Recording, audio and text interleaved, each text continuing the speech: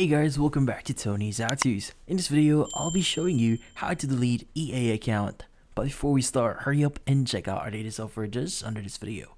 So let's get started. In this case, you might be wondering how do you delete your EA account? So first things first is we need to access a website here, which is going to be help.ea.com. In this case, go ahead and type that in ea.com. So help.ea.com. Now from here, you should be able to see the help center for your EA account. Look for the EA account option in details here.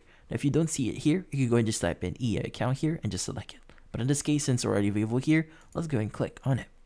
Now, what we need to do next is we need to choose a specific article here. So this might take a few seconds to load up, so let's just wait for it to load up. Now from here, you should be able to see the following articles. In this case, go ahead and choose the option that says delete EA account. Now if you don't see it here, you go and click on see all help topics here, and it should show you all the help topics for your EA account. Now, in this case, go ahead and just type in or press Ctrl F on your keyboard and just type in delete here. Now from here, you should be able to see the I want to delete my EA account. Let's go ahead and select this one.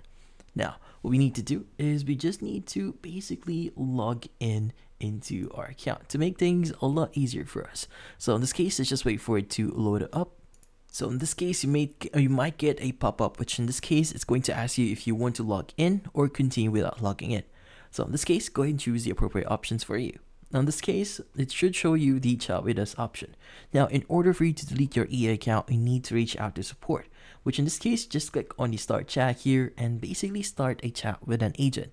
Now, from here on, just request them to delete your account here and just confirm a few things before they'll be able to delete your account. But in this case, that's about it. So, if you found this video helpful, hit the like and subscribe button and watch our next video.